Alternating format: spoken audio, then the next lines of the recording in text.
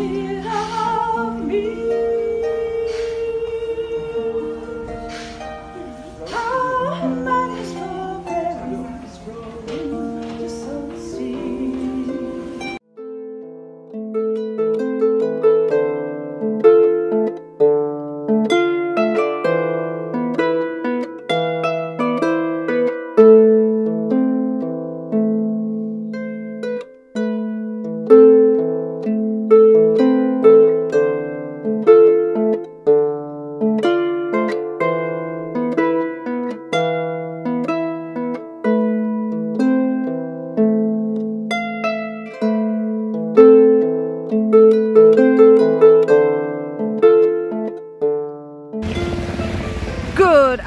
good afternoon. It is day 382 from here to Jerusalem, walking from West Cork to Jerusalem with a harp on your back. Um, yeah, so yesterday evening I arrived in Çanakkale. I'm in Asia now and uh, in the harbour, like it was already late, it was a long day walking, uh, it was raining. very, very, uh, very Irish. I was welcomed in Asia with rain. And uh, my side bag, the hole was so big there was onions sticking out. So the idea was initially to walk uh, to my hosts, but it became more than 30 kilometers that way. My feet were really sore. I think it was from walking on tarmac all day. Uh, and because they have small children, I decided to get on a bus. So I went to the bus station. I went to the bus stop to find a bus, and and this man goes like, "Are you German?" And I said, "No, I'm not German." He says, "Where are you going?" And I said, This is, I have it here on the phone, that's where I'm going. I'm looking for the 11, the C11. And he goes, Oh, I'll help you. And we get, the bus comes, and he's jumping up and down. He goes, Get in, get in, get in now. And he's jumping up and down, he's shouting at the driver, and he's going like, Bring this woman to where she needs to be. And he says to the guy, Pay for her, pay for her, don't make her pay. this bus driver is going like, we don't even know where she's going. so they told him where I was going. Uh, and he drops me off like about two kilometers from where I have to be. But uh, the bus was really full. There were so many people on it. I was glad to be out of there. So today I am now heading from where I am back into the harbour. I'll take a bus back out. So my bag is gone. I can try and fix it, but I'm not really good at any of that. So I'm gonna just try and get a new side bag. My clothes are being washed.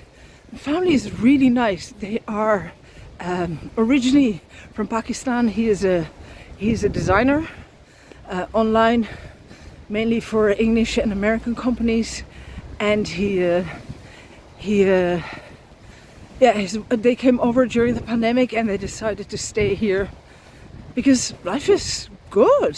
He goes like, life is really good. Uh, and we were having like jokes about like he wanted to visit Bulgaria to see to see some things there, and they refused him the visa because he had no relatives there and he said, because he's a freelancer, he said, they kind of went like, yeah, well, you're going to stay. And he said, I don't want to stay in Bulgaria. I don't want to be in Europe. It's way too expensive. I like living in Turkey. But they they won't even let me visit Europe. Do I want to stay there then? No, thank you. Nah. He said life here is really, really, really good. People are really kind, really nice. Uh, they made lovely food. They have this like this little like this little little boy from a year and a half, and he is full on like he is climbing and running and walking and he's in everything. He is just wonderful. And the daughter is called Anya, but spelled differently. So I stayed in Anya's room. Look at this. How bad, right? So, yeah, we're. Uh, I'm. Uh, I was very, very happy. Anya showed me how to make a little hat from some carton and uh, and thread. And here are lovely. Here's a lovely door going in. And yeah, we're uh, happy clappy. It was really lovely. I slept really, really well. I went to bed pretty early. Asia is a good start. It's a good start. And then this morning we had breakfast. I was given fried eggs, cheese and bread. And, and I was saying like, is there anything I can do for you guys? No. Rest. Your feet must be hurting. And he's going, Adil is going, here, your feet, your feet must be, you know, surely you're not walking everything. And I said, no, I've walked everything. I've walked all of it. And tomorrow I'm going to walk from the, from the, from the harbour back into town. Now, across here there is the another fortress.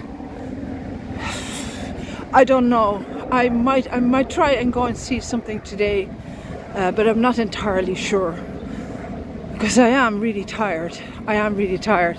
Like it is 382 days. Uh, with a good bit of bad news here and there.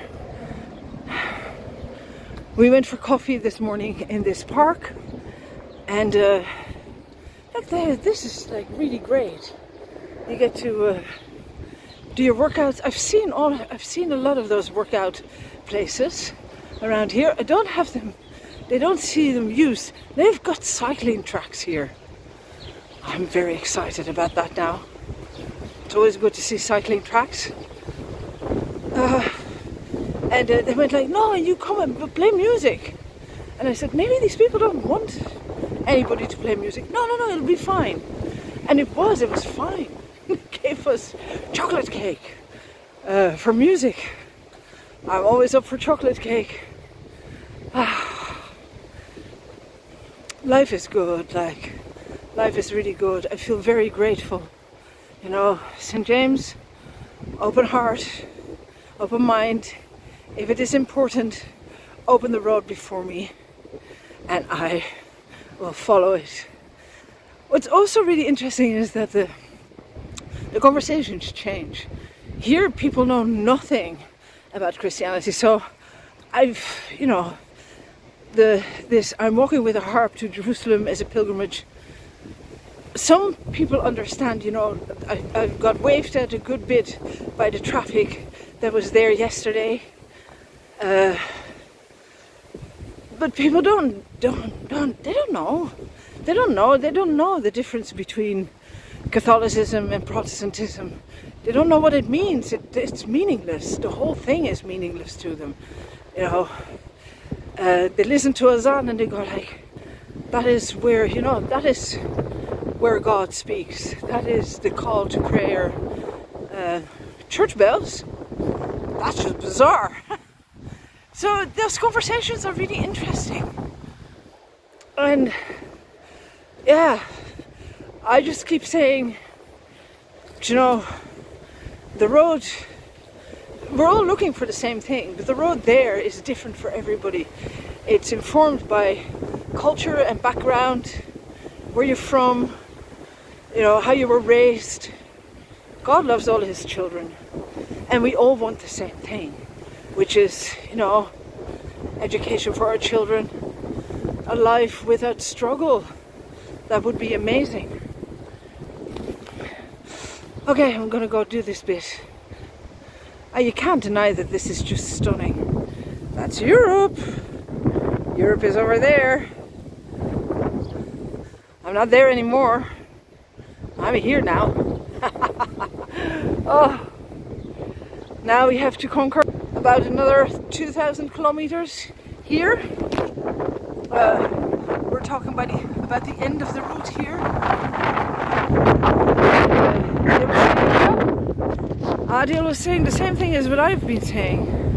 If there's people living there, you can go there. So I have to just keep looking at it and decide as I go. Can I go through there? I think I can. Okay. And there is wind. Çanakkale is the windy city of Turkey. And windy it is. Here we go, here we go.